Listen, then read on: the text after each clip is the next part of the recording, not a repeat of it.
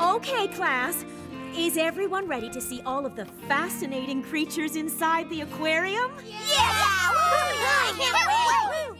Who's excited to see Cindy Starfish? Uh, how about Stingy the Stingray? Me! And Stewart the Sea Snail? Me! Uh, ugh, snails, blech. Zoey doesn't like snails. Yeah, they're slimy and gooey. But the worst thing about them is they're so slow. Uh, I'm so sorry. I'm afraid we'll have to have our visit another time. We have an, um, issue with one of our animals, and we need to close the aquarium today. I know it's disappointing, but we'll visit another time. Back to school we go.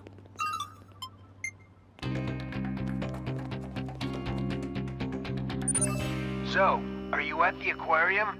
Yeah, but our field trip just got canceled and we're going back to school. Huh, figured as much. It appears one of their star attractions has gone missing. Please don't let it be the snail. Please don't let it be the snail. Stewart the sea snail got out of his tank. He's on the loose in Somerset. They need your help to find him and bring him back. Ugh. Maybe he doesn't want to go back. Maybe he went to live in the sea. Because he's a sea snail.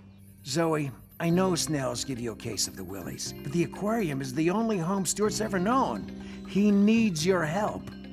Don't worry, Gramps. I'll get Stewart back to the aquarium, even if he is slow and slimy.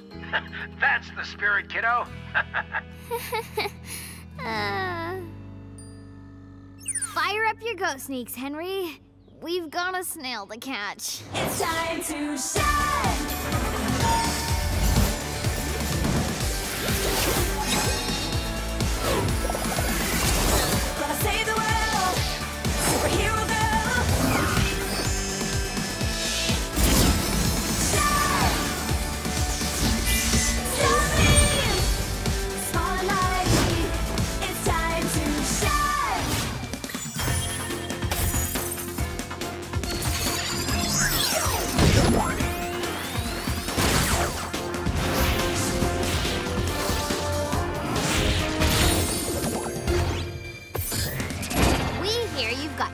Trouble. Starbeam, Boost, you're here!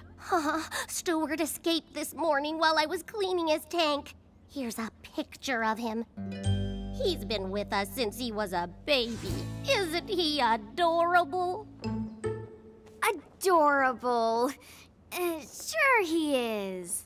Stewart needs to be in seawater to stay healthy. He can't be away much longer. Don't worry. Boost and I will find Stewart and bring him back safe and sound. Oh, thank you Star.